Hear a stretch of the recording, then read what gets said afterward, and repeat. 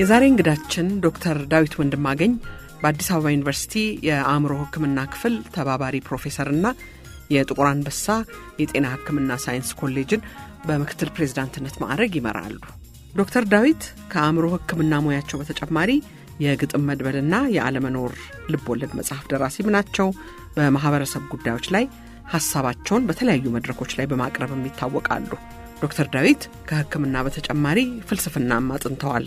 ለኪነ ጥበብ፣ ሙዚቃ፣ ስነ ጽሁፍ ልዩ ፍቅር ካላቸው የአእምሮ ሐኪሙ ከዶክተር ዳዊት ጋር ስለ ሙያቸው፣ ስለ አለመኖር መጽሐፋቸው፣ ስለ ህይወት በሰፊው ተጫዋውተናል። በሁለት ክፍል ግብዣ ለዛሬ እንዲህ ከሙዚቃ ጋር አሰናድተነዋል። ይህ የቅዳሜ ጨዋታ የእንግዳ ዝግጅት ነው። የእረፍት ጊዜያችሁን ከእኛ ጋር በጨዋታ ስለምታሳልፉ ደስ ይለናል። በያላችሁበት ቦታ ሰናይ የእረፍት ቀን እንድታሳልፉም እንመኛለን። ሸገር 102 ነጥብ 1 የእናንተ ሬዲዮ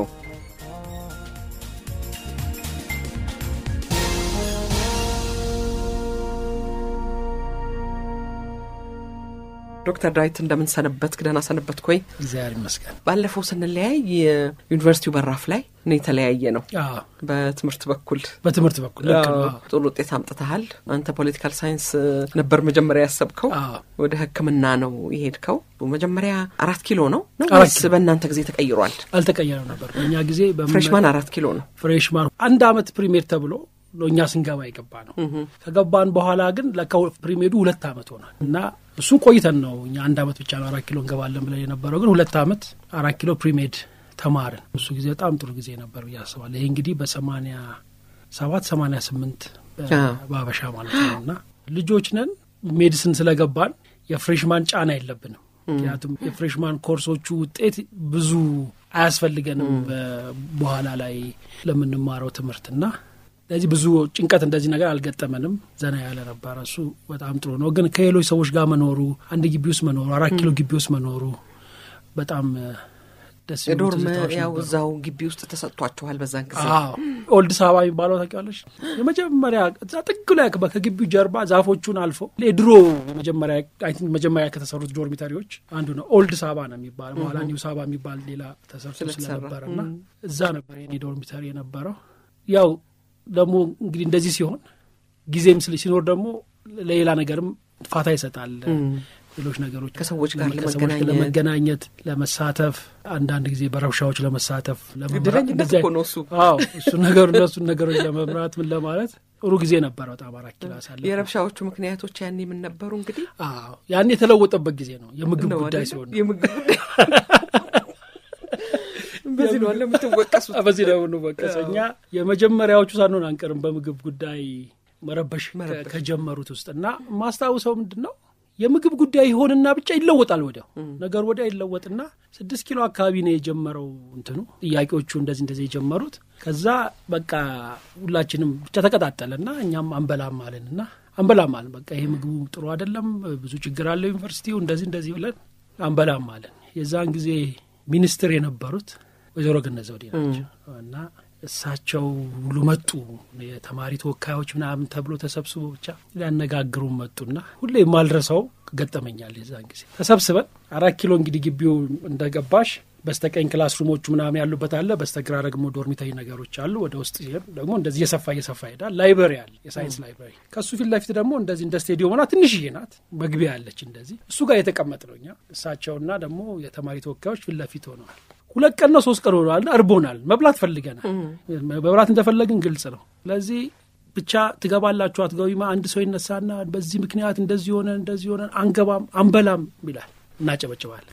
ሌላ ይነሳና አይ በቃ እንደዚህ ችግራችን የተማርን ይሻላል እንደዚህ ብንገባ ይሻላል፣ እናጨበጭባለን ለሁለቱ እና እኔ ተነሳውኝና እንዴት ነው ለዚህኛውም እንግባም እንብላም ሲባል እያጨበጭብ ነው፣ አንግባም አንብላም ሲባል እያጨበጨብ ነው። ለእኔም አጨበጨቡልኝ ልጆቹና እሱ በጣም ትዝ ይለኛል። ከዛ የሮጥንበት ፍጥነት ማለት ነው ወደ ምግብ ቤት እሳቸው እዛ እንደቆሙ በቃ ስምምነት ላይ ተደረሰ። ብቻ በቃ ግቡና ብቻ የሚሆን ይሆናል። እንዴት እንደሮጥን አስታውሰዋለሁ። ምግብ ቤት ለመብላትና የተማሪዎች ጥያቄ ወደ ምግብ የዞረበት ጊዜ ላይ ነው እኔ ገባሁት ብዬ አስባለሁ። እንግዲህ ይሻል ነበር at least ምግብ ደግሞ የዩኒቨርሲቲው ምግብ እኮ መቼም ጥሩ ሆኖ አያውቅም። ጥሩ ነው አያውቅም። ብዙ ስም ነበረው። እንጀራው ፍሪንኮር ይባል ነበር። ፍሪንኮር የሚባል ጂንስ ነበረ ይመስለኛል በፊት። ዳቦ እንደዚሁ በቆሎና እንደዚህ ነው። ብዙ የማይስማማ ነገር አለ። የማይስማማ ነገር አለው። እኔ አሁንም አንዳንዱ ነገር እንዴት እንትኑ ማለት አሁን ማስታውሰው አንድ ምግብ አለ። ጥቅል ጎመን አለው ምስር ክክ አለው ቀዩ ምስር ማለት ነው። ቀይ ወጥ ማለት እንዴት እንደዛ ሊሆን ይችላል? ጥቅል ጎመን ያለው ቀይ ወጥ እንደገና ምስር ክክ ማለት ምስርና ጥቅል ጎመን አንድ ላይ ሆኖ በጣም የሚገርም የሚገርም ነበር። ግን I think እንትን እንግዲህ ምናልባት ምግቡን የሰሩት ሰዎች በጣም ገንቢ የሆነ ምግብ ነው ብለው አስበው ሊሆን አስበው ሊሆን ይችላል አስበው ሊሆን ይችላል። ያለውንም ነገር እንግዲህ ለማብቃቃትም ሊሆን ይችላል። ግን መጥፎ የሚባል አልነበረ። የተማሪ ጉዳይ ሆኖ ይህ እነዚህ ነገሮች መጠየቅ በጋራ ይመስለኛል። በጋራ መኖር፣ በጋራ በአንድ ጉዳይ ላይ መሳተፍ እነዚህ እኮ በጣም አስፈላጊ ናቸው አይደለ? በጣም አስፈላጊ ናቸው። በጣም በጣም አስፈላጊ ናቸው። ምክንያቱም ብዙ ብዙ ሰው ነው የምናገኝ የነበረው አሁን ምክንያቱም እኔ ዶርሚተሪ የገባሁበት ዶርምና አካባቢያችን ላይ አሁን ላገኛቸውም ባልችል እስካሁን ድረስ ወዳጆች የሆኑ ከሌላ እኔ ከአዲስ አበባ ስለሆኑ ከሌላ ቦታ የመጡ ብዙ ወዳጆች አፍርተናል። ብዙም በጎም ክፉም ነገር አሳልፈን ትልቅ ሰዎች ሆን አብረን እኖራለን። ለብዙ ነገር መሰረት ይሆናል። ግን የማናውቀውንም ነገር ደግሞ ለማወቅ ለካ እንደዚህ ነው፣ እንደዚህ ማየት አስተሳሰብ አለ፣ እንደዚህ ማየት አመለካከት አለ የሚለውንም ለማወቅ በጣም መልካም አጋጣሚ ነበረ። እንግዲህ አሁን አሁን እሱ እሱ በጣም እየቀረ እየቀረ መጥቶ በየቋቱ ሰው መግባት ጀምሯል። ተማሪዎች ግን በጣም በጣም መልካም አጋጣሚ ነበር የሚያሳዝነው ፖለቲከኞቹ ዩኒቨርሲቲ ውስጥ ደጅ ያለውን መዋቅር ይዘውት ገቡና ነው እኮ አደለ? ምንም በጣም ያሳዝናል። ይሄ በጣም በጣም ነው የሚያሳዝነው እሱ። ምክንያቱም እንግዲህ እኔ እስከሚገባኝ ዩኒቨርሲቲዎች የሰላም ቦታዎች ናቸው። የሰላም ቦታ ስንል የትኛውም እውቀት የሚጠየቅበት፣ የሚፈጠርበት፣ የሚሞትበት ማለት ማንም ሰው ነጻነት ማለት ምን ማለት እንደሆነ የሚለማመድበት ቦታ ነው። ለወጣት ልጆች፣ ለአፍላ ልጆች፣ ወደፊት ትልቅ ሰው ለሚሆኑ ልጆች እነዚህም ቦታዎች እንደ መሳሪያ ለመጠቀም መሞከር ጥፋት ነው። ሌት ለማናቸውም ቢሆን ማለት ነው። እንግዲህ ይሄ በእኔ ልምድ እንግዲህ ከተማሪ ጀምሬ እስካሁን ድረስ ባለውበት ሁኔታ ሳየው መንግስትም በጣም እጁን አርዝሞ ያስገባል ዩኒቨርሲቲ ውስጥ፣ ሌሎቹም ደግሞ ጎን ለጎን በየመዋቅራቸው ተያይዘው ይገባሉ እና የአፍላ ልጆችን ብሩህ አእምሮ የሚሰፋውን ያህል እንዳይሰፋና ማደግ የሚችሉትን ያህል እንዳያድጉ ከባድ ከባድ ተጽዕኖ ያደርግባቸዋል እና ያን የነጻነትና የሰላም መንፈስ ያጠፈዋል። ተጠያቂነቱ ፖለቲከኞች ላይ ነው። ምንም እሱ ላይ ብዙ ክርክር ያለው አይመስለኝም። እንደገና እንመለስበታለን ይሄን ሀሳብ ምክንያቱም በምናያቸው ነገሮች እኛም እንደዚሁ ቅር የሚሉን ነገሮች አሉ። በተለይ አንድ ጊዜ አምቦ ዩኒቨርሲቲ ይመስለኛል አንድ ረብሻ ተነስቶ ቴሌቪዥን ላይ ያየሁት ነው እና የአማራ ተማሪዎች ተወካይ ነው እንደዚህ ይላል የሚናገረው ልጅ ከስር የሚሄደው የእሱ ታይትሉ እንደዛ ይላል። የዛኛው ደግሞ እንደዚሁ የትግራይ እንደዚህ ይላል እና ልጆች ወጣቶች አንድ ላይ ተገናኝተው አብሮ መኖርን እንዳይለምዱበት እንደውም ይበልጥ ከፍ ወዳለው ወደ ዓለም አቀፍ የሆነው የሰው ልጅ የወንድማማች የእህትማማችነት መንፈስ የሚሄዱበትን ቦታ እንዴት እንዳበላሹት በጣም የደነገጥኩበት ነው። ብዙ ሰዎችም በዚህ የደነገጡ ይመስለኛል። ይህን ሀሳብ ተመልሰን እናነሳዋለን። ዶክተር ዳዊት ጥቁር አንበሳ ሄድክ። ከዛ በኋላ ጥቁር አንበሳ ሄድን። ከዛ እንግዲህ የዩኒቨርሲቲ ሆስፒታል መሆኑ ነው አደለ? ጥቁር አንበሳ ጥቁር አንበሳ በዛን ጊዜ የጤና ሚኒስቴር የጤና ጥበቃ ሚኒስቴር ይባል የነበረው አሁን ጤና ሚኒስቴር የጤና ሚኒስቴር ሆስፒታል ነው። ግን ሜዲካል ፋከልቲው ጥቁር አንበሳ ውስጥ ነበረ።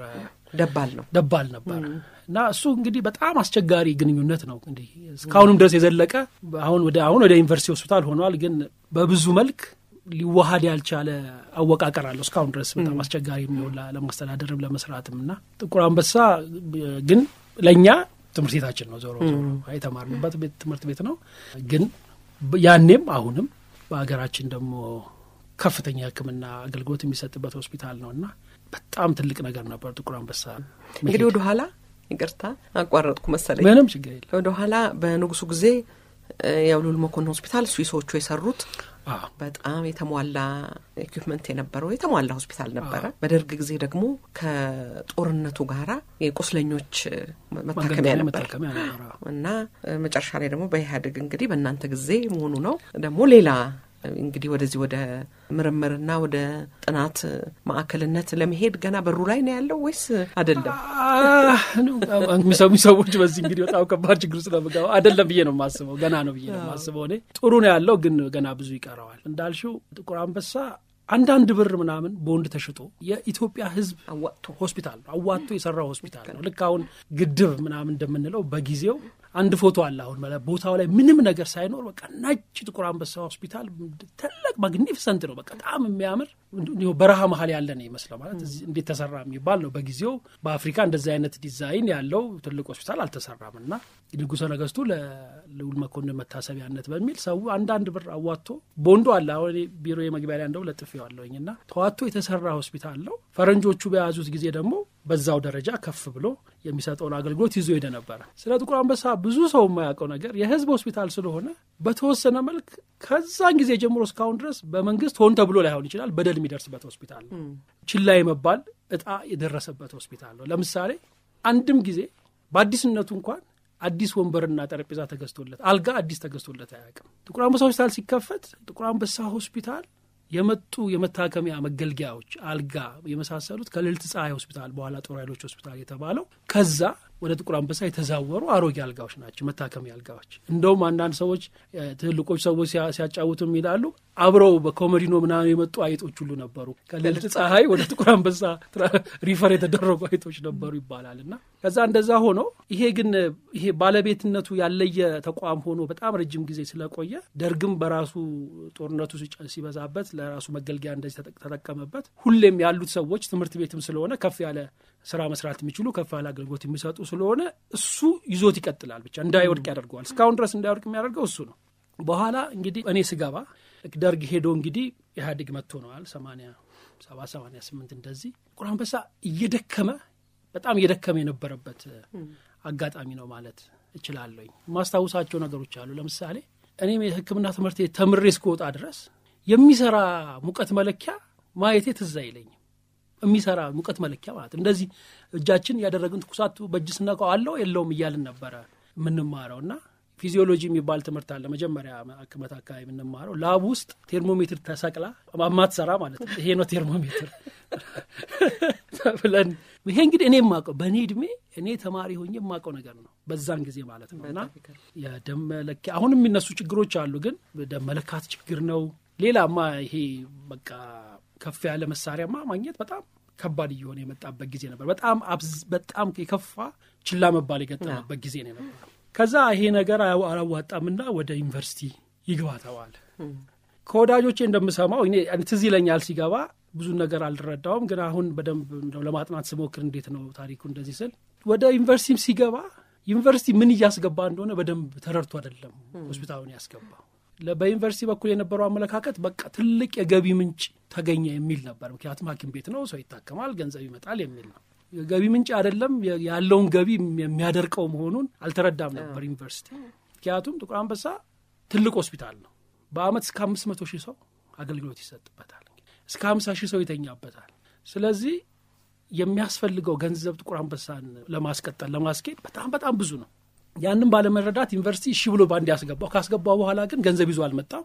ራሱን ይዞ መጣ። የዩኒቨርሲቲን በጀት መውሰድ ጀመረ። ዩኒቨርሲቲ ደግሞ ለራሱን በጀት የለውም የሚበቃው እንኳን ለሆስፒታል የሚያክል ነገር መስጠትና ያ የበለጠ ደግሞ ቁልቁለት እንዲሄድ ያደረገው ይመስላል። እስካሁን ድረስ ይሄን አወቃቀር ለመቀየር ብዙ ጥረት እኛ ብዙ ጥረት አድርገናል። ሊለወጥ አልቻለም። እንግዲህ ተስፋ የምናደርገው ወደፊት ይለወጣል ብለን ነው። ገቢ ላልከው በጣም ዝቅተኛ ነው እኮ ጥቁር አንበሳ የሚያስከፍለው። አሁን ለምሳሌ የጳውሎስ ሆስፒታል ለዝቅተኛ ኑሮ ላይ ላሉ ሰዎች ተብሎ የተቋቋመ ነው ይባላል አይደለ? ጥቁር አንበሳም እንደዛው እኮ ነው። ጥቁር አንበሳም እንደዛው ነው እስከ ዛሬም ድረስ ይመስለኛል። እስካሁንም ድረስ እስካሁንም እንግዲህ አሁን ይሄን ስንነጋገር አሁን በሰሞኑ የወጣ አዋጅ አለ ትንሽ የዋጋ ማሻሻያ ምናምን ተብሎ እስከ ሰባ ሰማንያ በመቶ ጥቁር አንበሳ የሚታከም ሰው እኔ አሁን በጣም በኩራት የምናገረው በጣም ሁሌ በዚህ ምኮ ነው የድሃ ድሃ ነው ነጻ ነው። የፈለገ ሕክምና ይደረግለት ፔስሜከር ሊገባለት ይችላል። ጥቁር አንበሳ ድሃነቱ ከተረጋገጠ ያገኛል። ያንን ምንም ምንም ችግር የለው። አልጋ ብር ከሀምሳ ሶስት ብር በቀን እንደዚህ ነው። ሶስት ጊዜ ምግብ በልቶ ምን ብሎ ማለት ነው። ለድሃ እንደዚህ አይነት አገልግሎት የጤና አገልግሎት መስጠት ጥሩ ነገር ነው፣ ግን በዘላቂነት አዋጪ አይደለም። ሊያዛልቅ የሚችል የፋይናንሲንግ አወቃቀር ይፈልጋል። እንዴት አድርገን ነው ድሃ ወገናችንን ማገልገል አለብን። እኔ አሁን በግሌ የማምነው ጤና የሰብአዊ መብት ጉዳይ ነው። ማለት ከየትኛውም ሰብአዊ መብት እኩል ማንኛውም ዜጋ ከታመመ የመታከም መብት ሊከበርለት ይገባል የሚላል። ለዛ የሚሆን ስርዓት መዘርጋት አለበት። ያ ማለት ጤና ተቋማት ሳይጨነቁ ሳይቸገሩ የታመሙባቸውን ሰዎች የሚያክሙበት አሰራር ተዘርግቶላቸው የሚመጣው ሰው ግን በሬውን ሸጦ ልጆቹን በትኖ ከዛ ደግሞ ላይድን እንደዚህ መሆን ደግሞ የለበትም። ከሰው ላይ ሸክሙን አቅልሎ ጤና ተቋማትም ደግሞ እንደዛው ሳይጨነቁ ግን ያን አገልግሎት የሚሰጡበት የአከፋፈል ስርዓት መዘርጋት ይፈልጋል። ይሄ እንግዲህ በሂደት የምናየው ነው። እኔ የተወሰኑ አመለካከቴ በጣም ሶሻሊስት ነው ማለት ምንም እልም ያለ ማለት ማለት የድሀ ሀገር ነው በጣም ያስፈልጓል እንደዚህ አይነት አሰራር ብዬ አምናለኝ። ያ ባለመሆኑ እንደ ጥቁር አንበሳ አይነት አገልግሎት የሚሰጥ ሆስፒታል ከእለት ወደ እለት እየደከመው እየደከመው እየደከመው እየሄደ ነው እና ይሄ ሁላችንም ልናተኩርበት የሚገባ ነገር እውነት ነው። ምናልባት እኮ ሀብት ያላቸው ሰዎች እንዲረዱት ማድረግ አንድ መላ ነው አደለ? ወይም ደግሞ እንዳልከው የሚችሉ ሰዎች ከፍ አድርገው እንዲከፍሉ ማድረግም አንድ መላ ነው።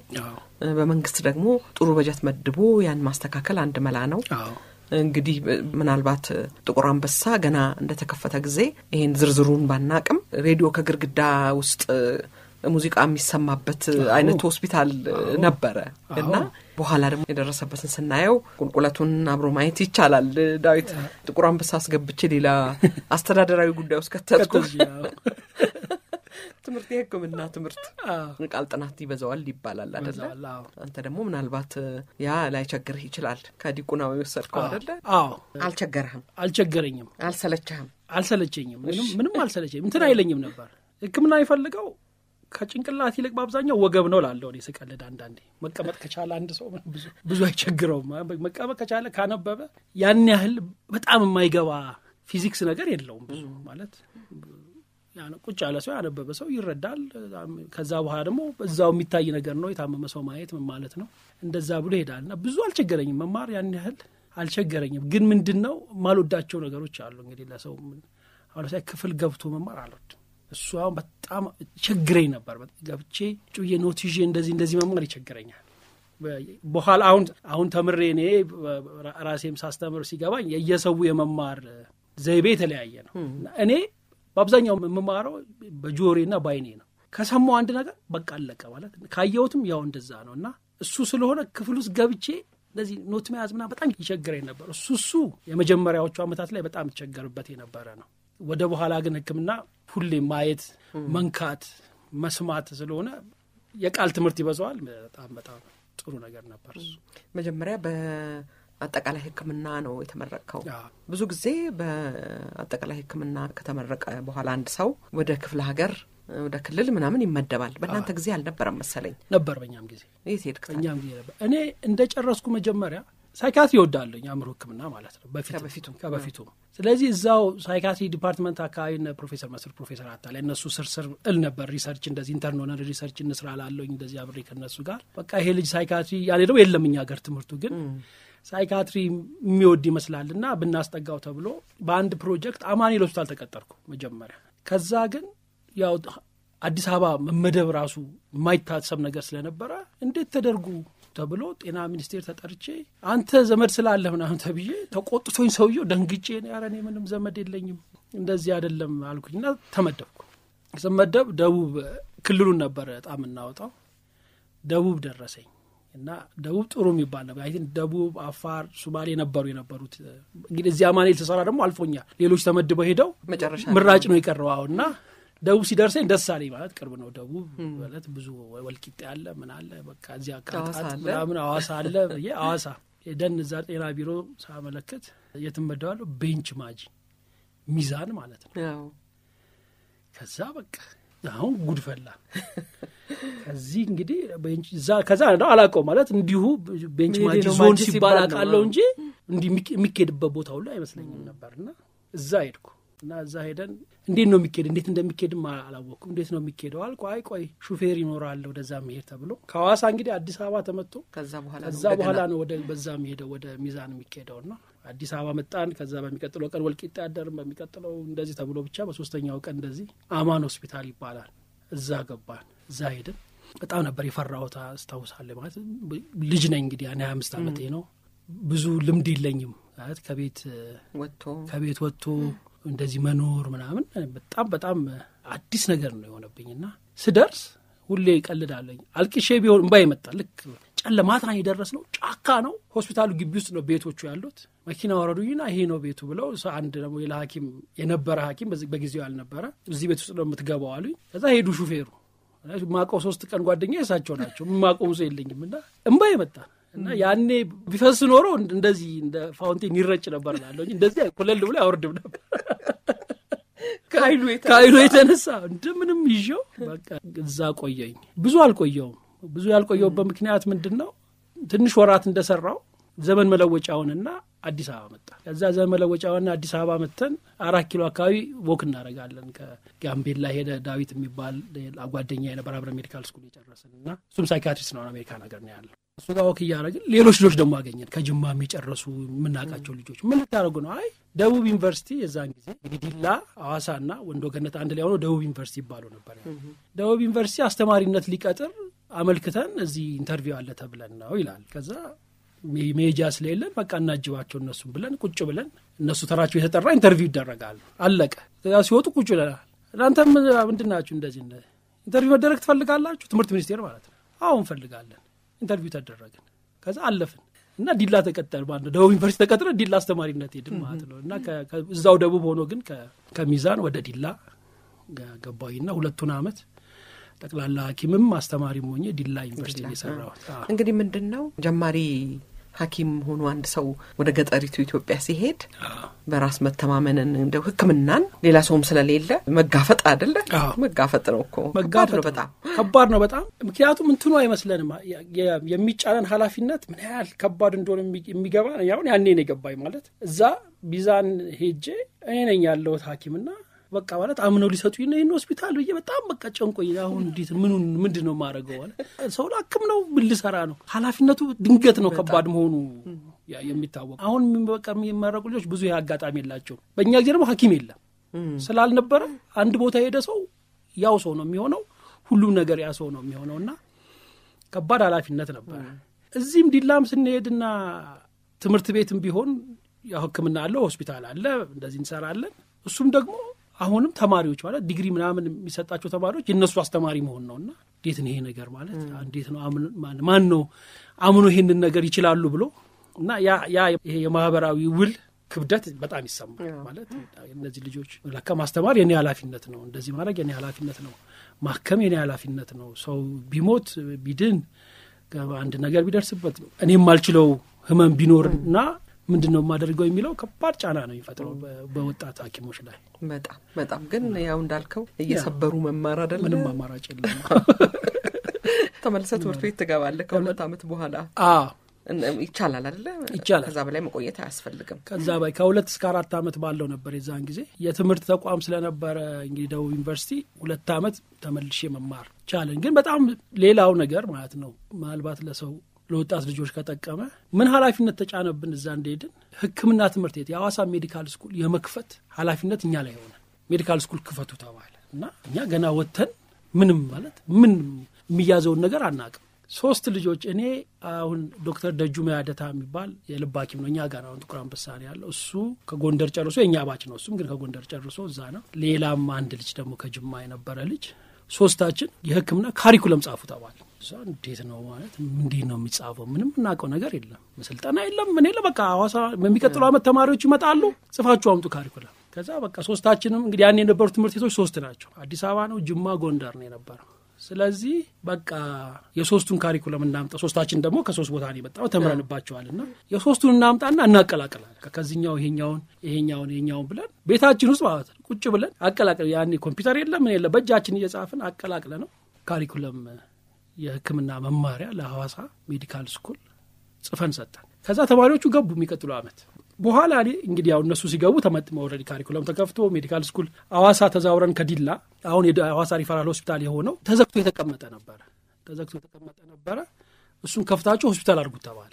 ከእንደገና ደግሞ አቶ ለ medical school እንግዲህ የተወሰነው እንግዲህ ጥቅም ምንድን ነው ወጣት ስለሆነ ድፍረት አለን ማለት አሁን አሁን እንደዛ አርግ ብባል አላረግም የሌላ ጥያቄ ነው። ብዙ የምጠይቀው ነገር ይኖረኛል። ይሄ ያኔ ግን እሺ በቃ አድርጉ ከተባለ የሆነ ነገር እናድርገው። ቁልፍ የተሰጠን ቁልፉ በሩን እየሞከርን በሩ ላይ እየጻፍን ምናምን ሆስፒታል አደረግ ነው። ከዛ medical school ሆነ፣ ተማሪዎች ገቡ። መጽሐፍ ኬት ይምጣ መጽሐፍ የእኛን መጽሐፎች እዚህ መተን አራት ኪሎ ሄደን ፎቶኮፒ አድርገን የራሳችንን መጽሐፎች እዛ library ውስጥ አስቀምጠን ምናምን ነው ሐዋሳ medical school የተከፈተው። በኋላ መጥቼ ተምሬ psychiatrist ሆኜ ቆይቼ ለሆነ ነገር ብቻ ወደ ይርጋለም ነው ሲሄድ እስኪ ሐዋሳ ሆስፒታሉ ልየው ብዬ ሄድኩ። በጣም የማረሳው ትዝታ ስለሆነ እኔ ማታ ነገር ላይ ነው እና ሄድኩኝና ገባው። ከዛ የሚሰራ ሆስፒታል ነው ያ እንግዲህ እኔ ያውቀዋለሁ ማለት እንዴት የሚሰራ ሆስፒታል ነው።? ከዛ intern ኦች እንግዲህ የመጨረሻ ዓመት ሕክምና ተምትኖች ተማማጆች እንደዚህ ይሄዳሉ። እነዛ ልጆች እኛ ከአምስት ዓመት እንደዚህ በፊት ያን በእጃችን ጽፈን የጻፍነው ካሪኩለም የገቡ ልጆች ናቸው። አሁን ትልልቅ ሐኪሞች ሆነዋል እና አንዳንዴ ሳስ በጣም የኔ በጣም ደስ ብሎኝ ነበር። ማለት ጥሩ ነው እንግዲህ እንዴት እንዴት እንደሆነ ባይሆንም እንዳናቅ ብቻ ሆኗል ማለት ነው የሚለው ግን ጊዜ በጣም ሩቅ ይመስላል። የምናወራው ግን አስራ ምናምን ዓመት ታሪክ ነው እና ምን ትንሽ ወጣት ልጆች ላይ በጣም ከባድ ኃላፊነት ይወድቅ ነበር። ባዶ በሆነ ሀገር እንግዲህ ስንት ዩኒቨርሲቲዎች ተከፈቱ በጣም በጣም በጣም ትልቅ ድፍረት ነው። ትልቅ ድፍረት ነው አንዳንዴ ጥፋትም ብዙ አለ። አለ ይህንንም እንመለስበት እንመልስበታለን። አዎ ስለዚህ በጣም ማውራት ያስፈልጋል ያስፈልጋል። ልክ ነው።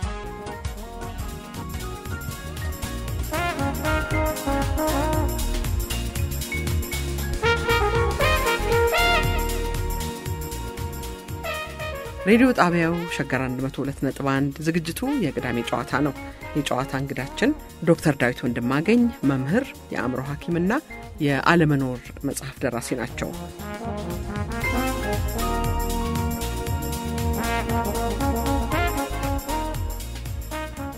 ዶክተር ዳዊት ተመልሰህ ያው specialize አረግክ እንደነገርከን በምትፈልገው ትምህርት እነ ዶክተር መስፍን እነ ዶክተር አታላይ ናቸው። አሁን ፕሮፌሰር ናቸው። ፕሮፌሰሮች ናቸው።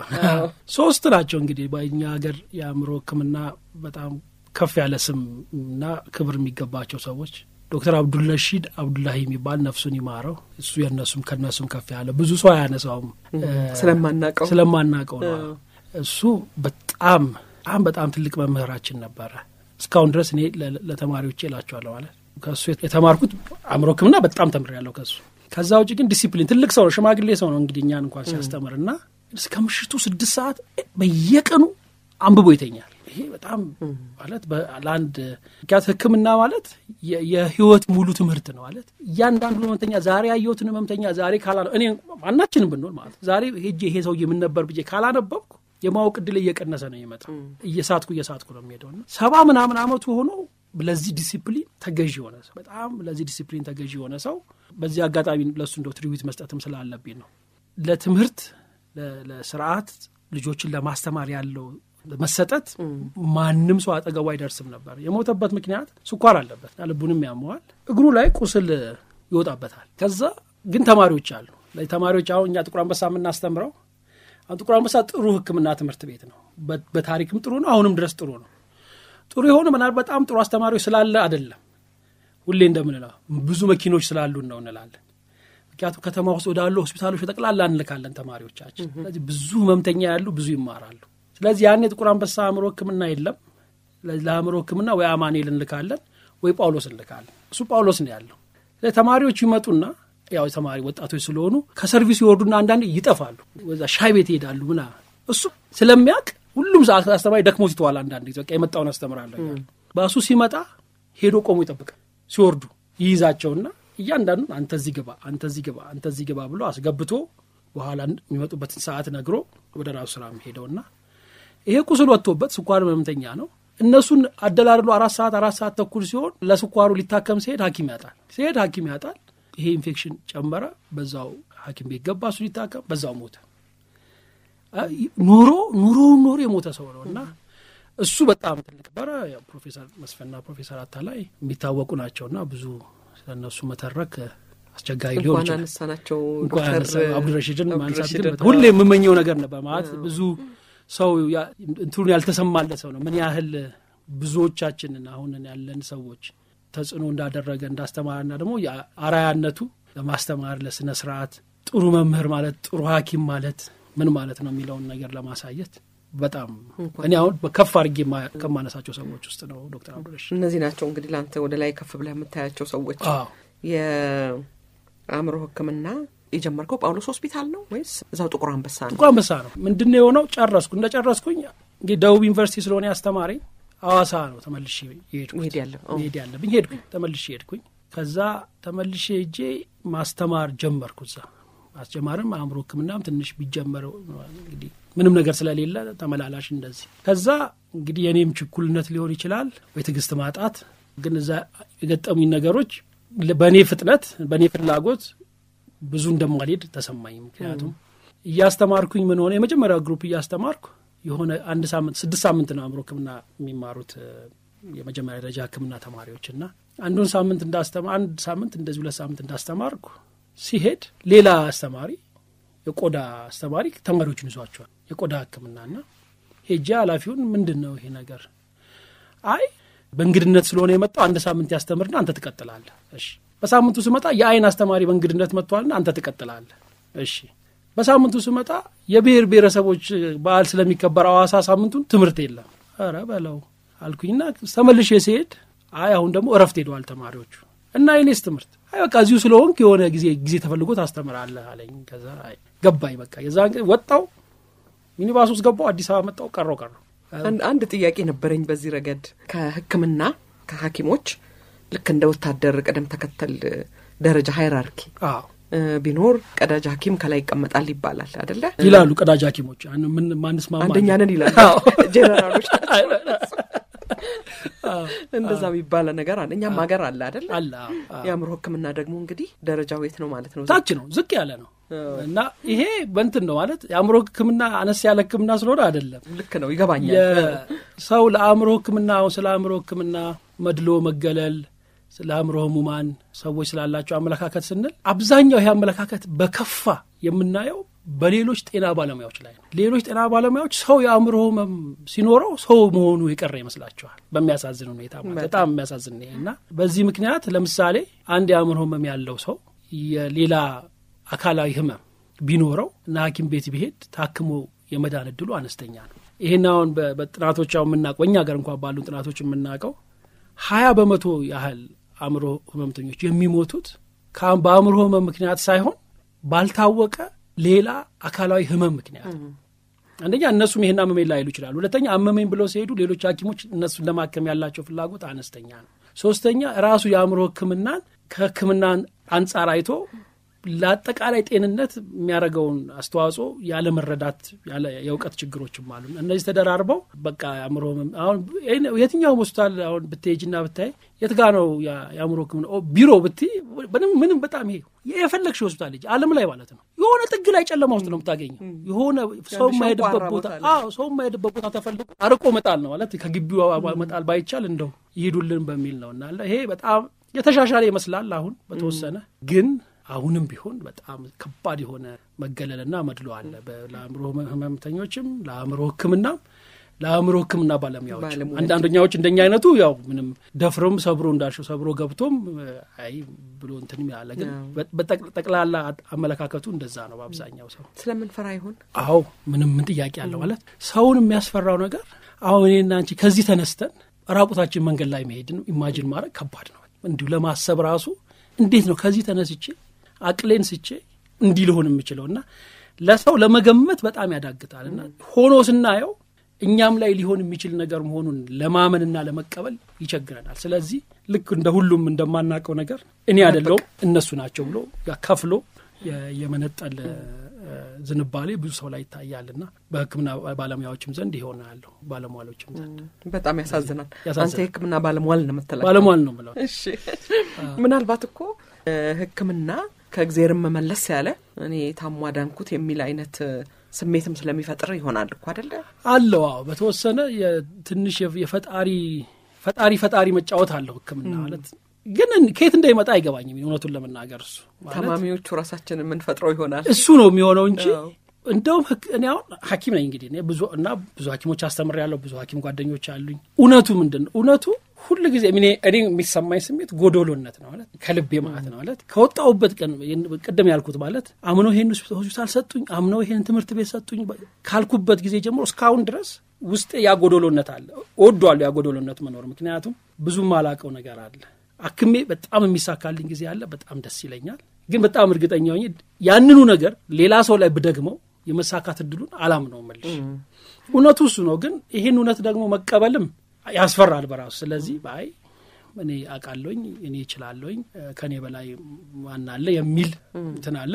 ሰውም ደግሞ በቃ ማለት በጣም ነው የእኛ ሀገር ሰው በተለይ በጣም እንትን ነው ማለት አመስጋኝ ነው። በቃ ለትንሽ አገልግሎት በጣም ብዙ ምስጋና ይሰጣል። አገልግሎት የሚገባው ሁሉ አይመስልም። ያ ስላለ እሱም አብሮ እየጨመረው ብዙ ሰው ሐኪም ሲሆን ከፍ ከፍ ሐኪምነቱን ሐኪምነቱን ከፍ ከፍ የማድረግ እንትን አለው። ዶክተር ዳዊት እንግዲህ ሕክምና ላይ ሕክምና አለብህ፣ ጥናትና ምርምር ታደርጋለህ፣ መምህርነትም አለ።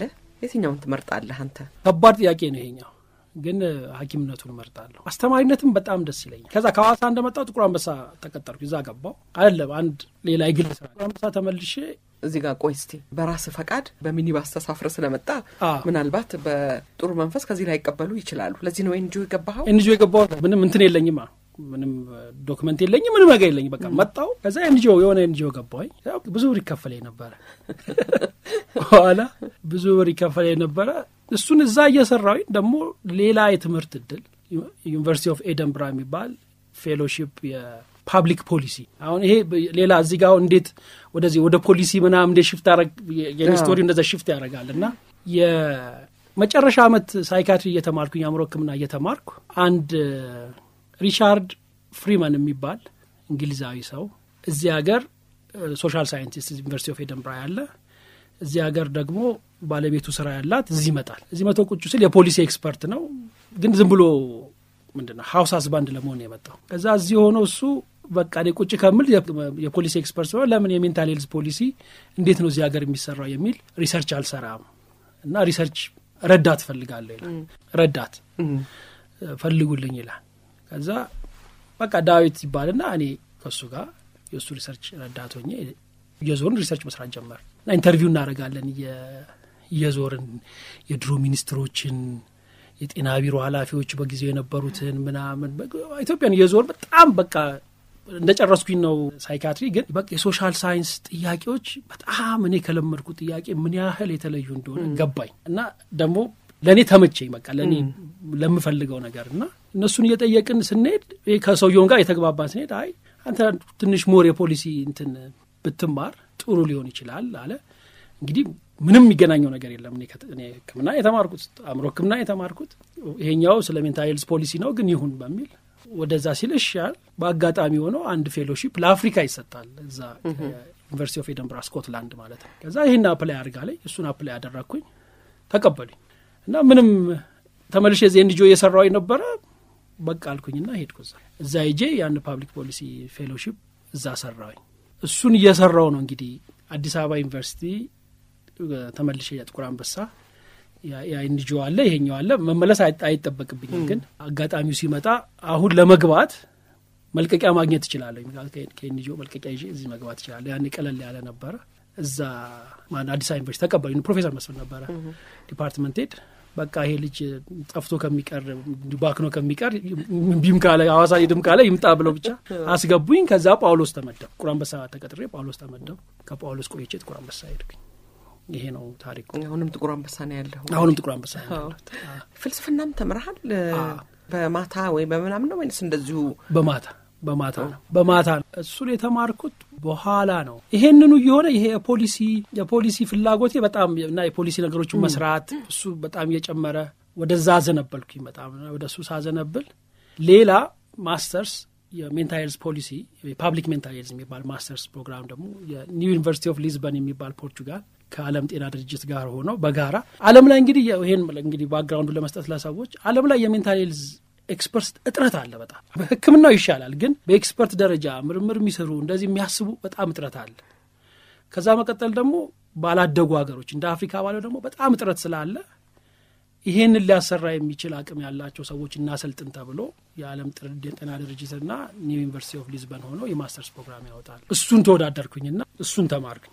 ሄድክ እዛ እዛ እየተመላለስኩ ነበር እሱኛውን የተማርኩት። ከዛ ግን በጣም ይሄ የ social science ተጋላጭነት እየጨመረ ሲመጣ እንትኔ የታየኝ በጣም ክፍተት አለ። ማቀው የምችለው የምሰራው ነገር አለ። ምንም ችግር የለውም። እሱን መስራት እችላለሁ፣ ማከም እችላለሁ። እሱ ላይ አይቸግረኝ። ግን ውስጤ የሆነ ባዶ የሆነ የሆነ ያልተያያዘ ነገር ያለ መሰለኝና በትምህርት ሁሉ እንግዲህ በቃ ትንሽ እንደው ለማሰብ ጥርት አድርጎ ለማሰብ የሚረዳ philosophy ነው ብዬ ስላመንኩ በማታ አዲስ አበባ ዩኒቨርሲቲ ገባሁኝ። ያኔ እንግዲህ already ጥቁር አንበሳ associate dean ሆኛለሁ፣ ግን ይህን gap ኡ ጭንቅላቴ ውስጥ ካልሞላሁት አይሆንም በሚል masters program እዛ ገባሁኝና ሙሉ ኮርሶቹን ጨርሼ ቴሲስ ሰርቼ ቴሲሴን ላቀርብ ስል ታመምኩ። እዛ ሄድኩኝ እና እዛ ተመለስኩ። ምንድን ያመመ? ልቤን ያመኛል። እኔ ልቤን ያመኛል እና ሕክምና ትምህርት ሆኜ ነገር ነው የጀመረው፣ ግን አልታወቀም ነበረ። በእኛ ሀገር ሕክምና እንግዲህ ጥሩ ነገሮች እንዳሉት ሁሉ ደካማ ነገሮችም አሉት። ደካማ ጎኑ አንዱ ያልተለመደ ነገር ያመመው ሰው ብዙ እድል የለውም፣ ህመሙ የመታወቅ እድል የለውም እና እኔ እንግዲህ መጀመሪያ ሲያመኝ ገና ሕክምና ተማሪ ሆኜ ነው ያመመኝና ያልተለመደ ስለሆነ ከተለመዱት ህመም ውስጥ አልገባ ሲል አይ በቃ ልጅ ነው ምንም ነው ተብሎ ችላ ተባለ። እኔም ችላ አልኩት። ከዛ ደም ግፊት በጣም ይጨምር ነበርና የደም ግፊት መድኃኒት ደግሞ ታዘዘልኝ።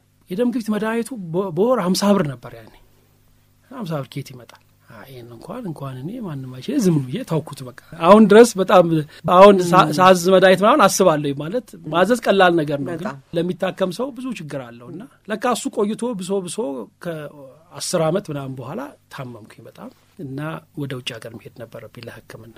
እዛም ሊታወቅ አልቻለም። ልቤ እንደታመመ ታውቋል፣ ግን ምንድን ነው የሚለውን ነገር ማወቅ የተለመዱት አሉ።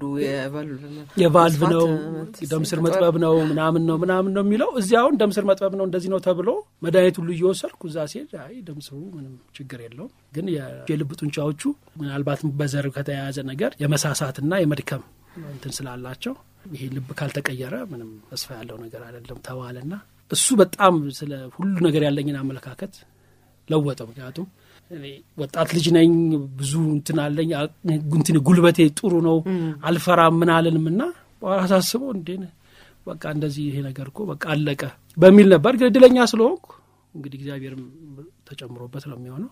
የሄድኩበት አመት አይ እንግዲህ ልብ ማግኘት አይቻልም አማራጭ። ስለዚህ አንድ የኤሌክትሪክ የማስገባት ሕክምና የተለመደው pacemaker ምናምን የሚባለው ነው። ግን pacemaker ኡ ያው ልቡ ሲቆም የሚያስነሳ ነው ወይም አመታቱን እንደዛ የሚያደርግ ነው።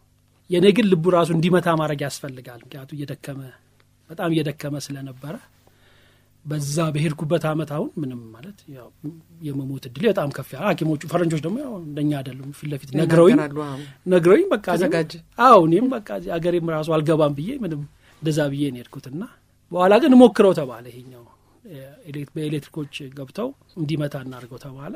በጣም ደህና ሆነ ልብ ማለት አለ ማለት ግን ጤነኝነት አሁን እንግዲህ እንደዚህ ነኝ ማለት እንደፈለግኩ እንቀሳቀሳለሁ ምን አለ እንደዚህ ላለሁ ህመሙ አለ። በተወሰነ ጊዜ በየሰባት አመቱ የሚቀየር ነገር ነው። ወዴት እንደሚሄድ አናቅም፣ ግን ለጊዜው በጣም አለው። ግን ሰው ለጊዜው ነው የሚኖረው ዞሮ ዞሮ። ነው እንጂ ሁሉም ሁሉም። ምንም ችግር የለው ሁሉም። አይ እንደው ይሄንንም አይቶ መመለሱ አንድ እውቀት ሰጥቶሃል ይመስለኛል። አደለ? ፍልስፍና እንዳልከው ይሄ ሰፋ አድርጎ ማየትና ማሰብ ከአዲስ መንገድን ማየት ፍልስፍና፣ ስነ ጽሁፍ ከዛ የሚቀዳ አንዳንድ ሀሳብ ታገኝተህበት ከሆነ ይህንን ደግሞ ለተማሪዎችህ ሰፋ አድርጎ የማስተማርን በተለያየ መንገድ ማየትን ለሱ ለሱ ጠቀመ። በጣም ጠቅሞኛል። ማለት አንደኛ የራሴን ህይወት የማይበትን መንገድ አስተካክሎልኛል ብዬ አስባለሁ። የመጀመሪያው ጥቅም ጥርት ኩልል አድርጎ ለማሰብ ያስችላል። ማለት አእምሮ ውስጥ ያለው ውዝግብን ያጠራል። ማለት አንድ ነገር ምንድን ነው ይሄ ነገር እንዴት ነው እንደዚህ የሚሆነው ለምንድን ነው የሚሆነው ብሎ አጥርቶ ለማሰብ መሰረታዊ ነገር ነው። ሁሉም ሰው አሁን መሰረታዊ በሆነ ደረጃ ፍልስፍና መማር አለበት ብዬ አስባለሁ።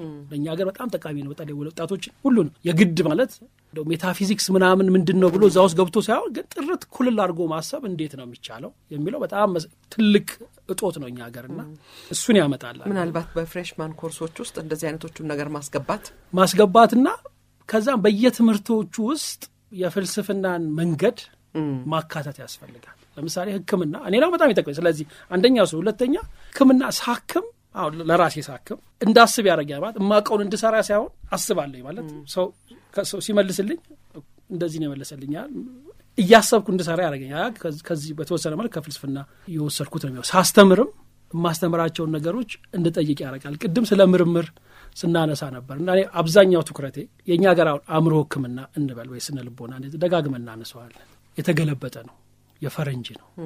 ስለዚህ ያው የተማርነውን እንሰራዋለን እንጂ እንደ እውነት የሚሰራ ነገር ነው ወይ ብለን መጠየቅ አለብን ብዬ አምናለሁ። ድፍረት ነው። ምክንያቱም የምዕራብ አመለካከት፣ አስተሳሰብ እና ማንነት ላይ የተመሰረተ ነው። ለምሳሌ የምናውቀው ማንነት እኔ የሚለው ነገር እኔ የሚለው ሀሳብ አንድ ሰው በራሱን የቻለ ማሰብ የሚችል ፍላጎቱን የሚያውቅ የሚመዝን ይሄ በጣም የምዕራብ ሰው ነው። ይሄ ሰው ወደ እኛ ስንመጣ ደግሞ የእኛ ሀገር ሰው እኔ የሚለው ማህበራዊ የሆነ መንፈሳዊ የሆነ ከመሬት ጋር በጣም ቁርኝት ያለው እነዚህ ሁለት እኔዎች አንድ አይነት ስነ ልቦና ይዘው አይወጡ እንደኛ እንደኔ አይነት ሰዎችና የአእምሮ ሕክምና ላይ ነው እንደዚህ አይነት ስራ ላይ soft የሆኑት ሳይንሶች ላይ እንሰራለን የምንሰራ ሰዎች ኃላፊነታችን ይህንን ማዳበር ነው። አሁን ስለሌለን አማራጭ የለን እዚህ ድረስ ደርሰን እሺ፣ ከዛ ግን ይሄ ምን አይነት የህይወት አመለካከቶችን ይፈጥራል? እነዚህ የህይወት አመለካከቶች ሲጎዱ ደግሞ ምን አይነት ህመምን ይፈጥራል? እሱን ደግሞ እንዴት እናክመዋለን ብለን መመርመርና ሁለቱም ማስታረቅ፣ ይህን መጣል አይደለም ማስታረቅ ይፈልጋል። ምክንያቱም የምንኖርበት ዓለም የተቀላቀለ ስለሆነ ይሄኛው እኔ ብቻ ያኛው እኔ ብቻ ሆኖ አይኑም የተቀላቀለው እኔዎች ግን የትኛው ነው እኛ የምንለው ማጥናት ይፈልጋል። ይሄን ለማድረግ ያለ ፍልስፍና ሊሆን የሚችል ነገር አይደለም። ለሱም በጣም ያግዛል። ስለዚህ ማስተማራችን ውስጥ እንከተዋለን፣ ማከም ውስጥ እንከተዋለን። በኑሯችንም ከሰው ጋር አብረን ስንኖርም የተወሰነውን አብሮ የመኖር መንገድ ሊያስኬድልን ይችላል።